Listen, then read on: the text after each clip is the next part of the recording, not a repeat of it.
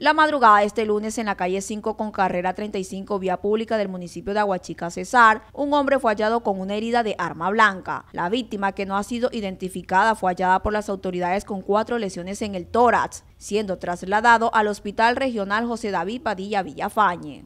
Según las autoridades, se trata de una persona aproximadamente de unos 30 años, con textura gruesa y tez morena. La policía investiga los móviles y autores del hecho.